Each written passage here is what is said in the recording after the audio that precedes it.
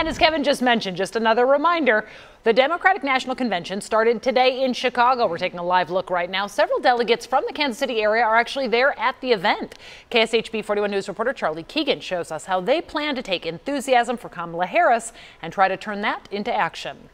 A beaming smile has been the picture of Kamala Harris this month. Her Democratic supporters say this enthusiasm isn't a flash in the pan. Our honeymoon is just starting. The plane has just touched down on the honeymoon. The honeymoon is this week in Chicago at the Democratic National Convention. But last month, some Democrats, like Jeff Gerling, I'm currently unpledged. Questioned whether they could reach this point when Joe Biden stepped down. When we last talked, I wasn't sure if there was going to be this level of confidence and energy behind Kamala Harris.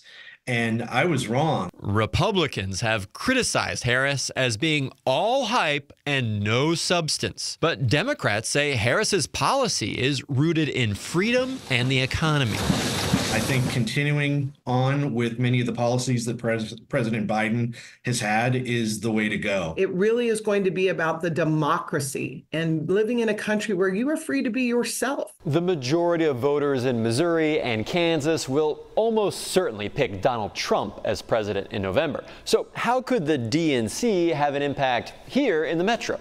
Okay, we've got a lot of energy at the top of the ballot. Now this is going to make it even easier for us to win some of the down ballot races. Jeff Gerling and Gina Repass hope Harris isn't the only Democrat still smiling in November. Charlie Keegan, KSHB 41 News.